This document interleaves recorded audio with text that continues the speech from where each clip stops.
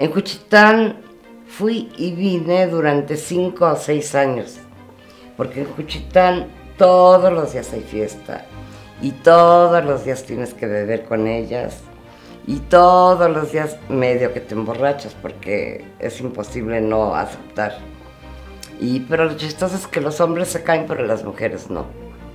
Entonces, otra cosa muy interesante de Juchitán es que los hombres no pueden entrar al mercado y la mujer es la que administra todos los bienes de Juchitán.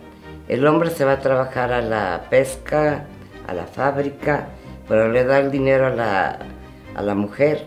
Y solamente los mushes, que son los homosexuales, que son bienvenidos en la sociedad, ayudan a las mujeres.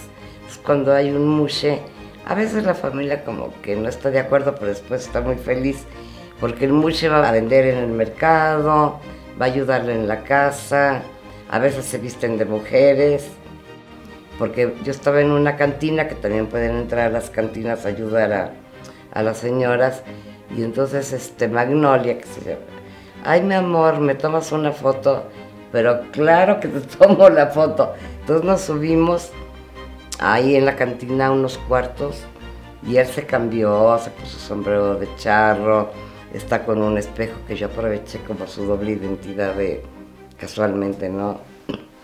Y eh, salió, cuando yo tuve el premio eh, de París Foto, en París fue por este, por Juchitán, y salió Magnolia en Liberación de este tamaño en Le Monde.